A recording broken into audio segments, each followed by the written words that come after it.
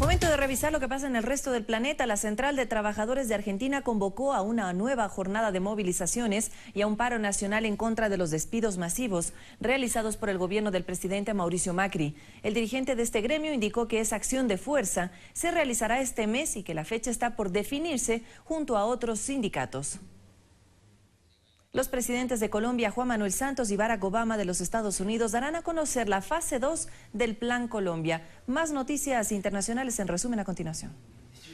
En su segundo día de visita a Washington, el presidente de Colombia, Juan Manuel Santos, se reunirá con su homólogo Barack Obama para luego dar a conocer las acciones que se emprenderán en el Plan Colombia Fase 2.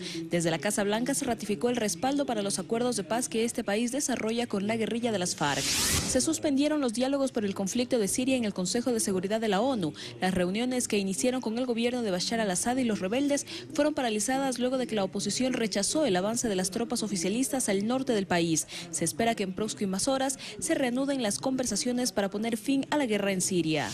Donald Trump denunció fraude tras perder contra el senador de origen hispano Ted Cruz en las primarias de Iowa y pide una nueva elección solicitud que no podrá ser aceptada. Finalizamos en Inglaterra con estas imágenes de un accidente de tránsito. Un hombre se quedó dormido, chocó y volcó su vehículo. En el interior viajaba con su esposa e hijo que afortunadamente no sufrieron heridas de gravedad.